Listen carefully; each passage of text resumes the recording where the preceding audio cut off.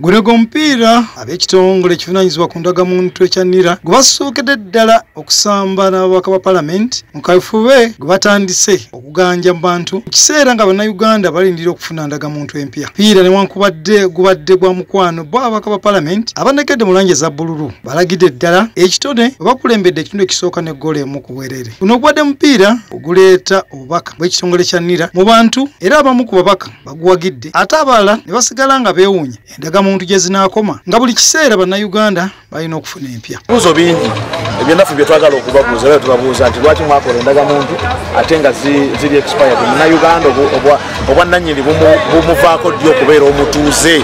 Era lwaki bwe kibeera? So tukyalinga information yeyo kubanga naffe eri abantu bagitubuuza ate si wano wokka wabula ne bweru w'eggwanga.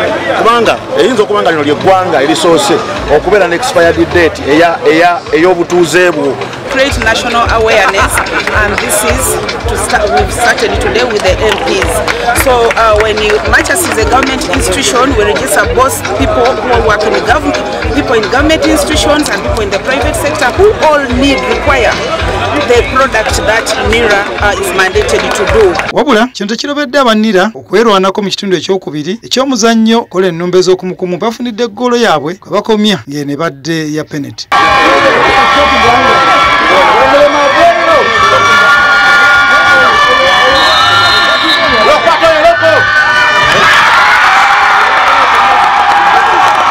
palamenti goolo eno tebayisizza bulungi. Basazeewo okukola enkyukakyuka mu basambi. Era ekitundu ekyokubiri ne bateeberawo goolo endala bbiri ez'obuwanguzi. Gw'omupiira bagwogeddeko bwe bati.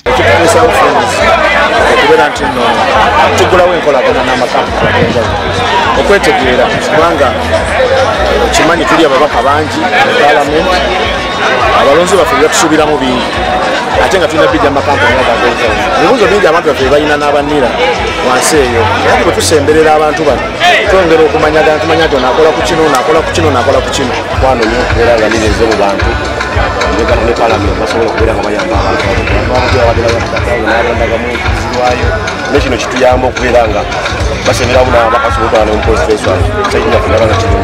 ye omubaka era ssentebe w'akakiiko ka palamenti akavunaanyizibwa ku mbalira y'ensimbi z'omuwi omusolo. Asumani basaali wasinzidde wano n'ayogera ku tteeka erifuga emizannyo lyeyawamu omutwe with the sports management and sports administration in this country.